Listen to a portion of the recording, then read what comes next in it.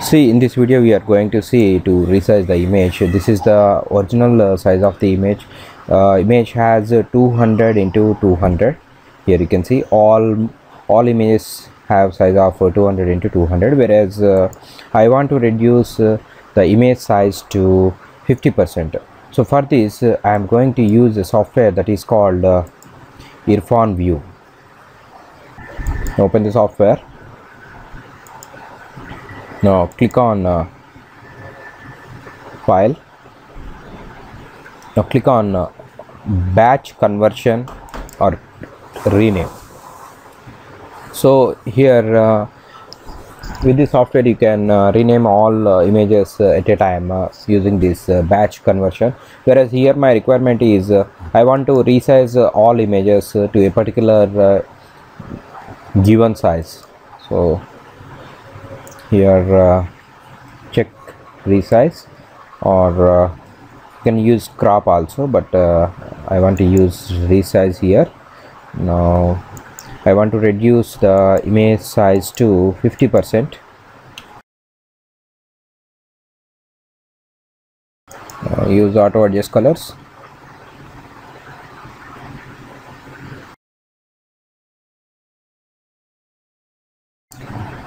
Now click on uh, save changes.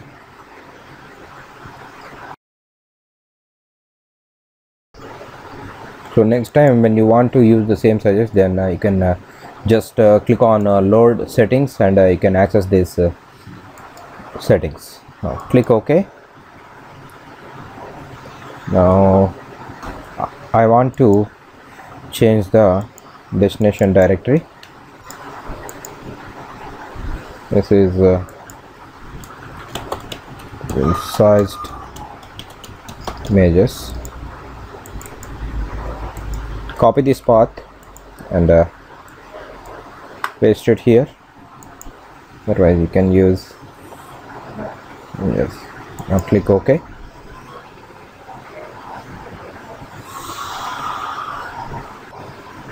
I don't want to resize the subdirectories that's why I have not checked this option.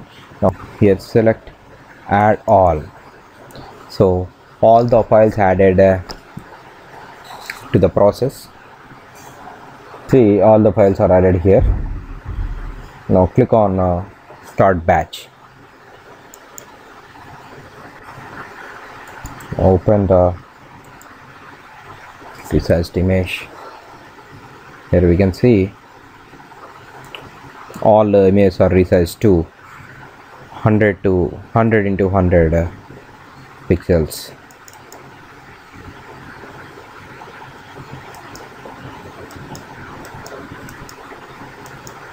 That's it. Now it is looking nice